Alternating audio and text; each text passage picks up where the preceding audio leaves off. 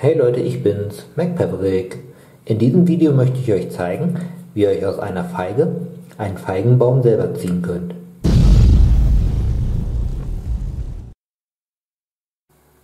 Im ersten Schritt schneidet ihr dazu die Feige hier in der Mitte durch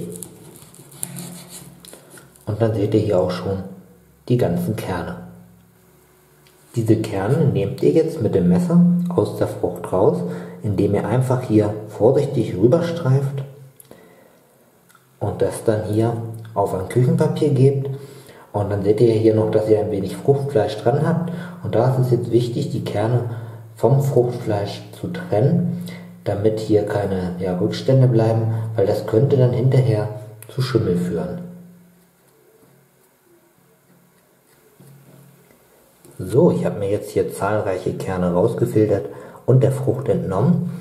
Es ist jetzt nicht nötig, dass ihr die Kerne trocknen lasst, ihr könnt diese gleich einpflanzen. Ich habe mir zum Anpflanzen hier schon mal ein Anzuchtgefäß vorbereitet. Das Gute ist auch, ich habe hier gleich einen Deckel, dass ich das verschließen kann, damit die Feuchtigkeit und die Wärme dann auch in dem Anzuchtgefäß enthalten bleibt. Ihr könnt aber auch einen Topf nehmen und dann eine Plastiktüte drüber spannen. Als Erde habe ich ganz normale Blumenerde genommen. Die eignet sich dafür hervorragend. Und jetzt ist es einfach so, dass ich mir hier diese ja, Kerne nehme und die einfach auf die Erde hier lege. Ich bedecke das auch gar nicht, das sind Lichtkeimer. Und ja, ich mache ein bisschen Abstand und lege jetzt möglichst viele von diesen Kernen hier rein. So, ich habe nun alle Samen bzw. Kerne hier schön in dem Anzuchtgefäß verteilt. Anschließend muss ich das Ganze jetzt noch gut wässern. Damit die Samen dann nicht weggespült werden, bietet sich ähm, so lange hier ein Sprühgefäß an, bis die Pflanzen verwurzelt sind. Und ja, damit gieße ich das und halte das erstmal schön feucht.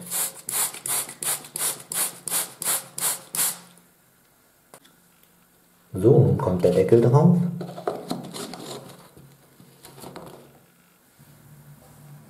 Zum Keimen gebe ich das Gefäß jetzt auf die Heizung.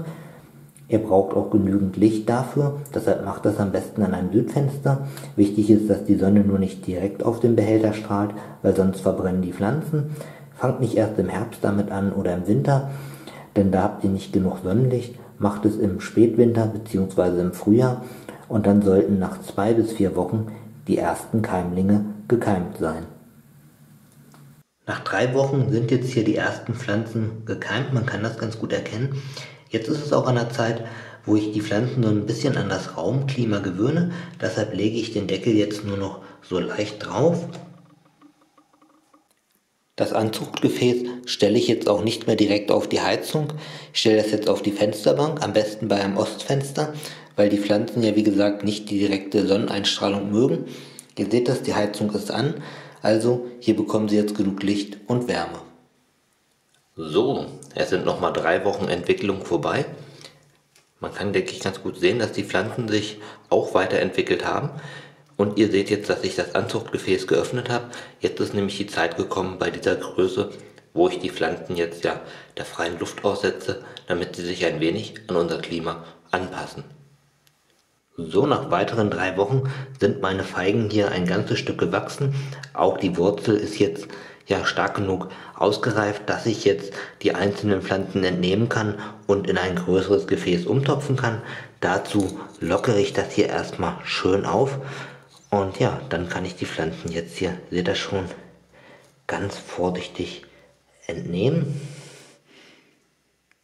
und sie dann umpflanzen. So, dafür lockere ich hier die Erde ein wenig auf. Und dann kommt hier die Pflanze vorsichtig rein. Ich habe die alle voneinander getrennt. Ich habe die Erde auch schon vorher angegossen, dass sie schön feucht ist. So. Und so werden jetzt auch die anderen Pflanzen aufgeteilt und dann können sie sich schön auch in der Größe weiterentwickeln. So, nach den Eisheiligen hatte ich jetzt meine Feigenpflanzen rausgestellt.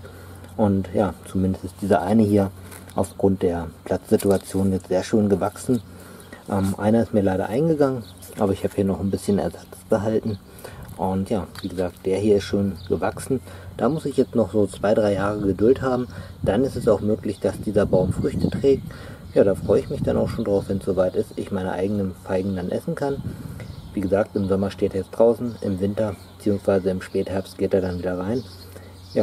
Gerne stelle ich ihn jetzt auch in der vollen Sonne, wie ihr sehen könnt. Das verträgt die Pflanze nach einer Gewöhnungszeit. Ich hoffe, dass euch diese kleine Anleitung gefallen hat. Viel Spaß bei eurem eigenen Baum, den ihr euch zieht.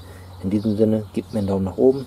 Hier könnt ihr mich kostenfrei abonnieren, dann seht ihr auch weitere Videos von mir. Ich sage bis dann, euer Mac, Maverick.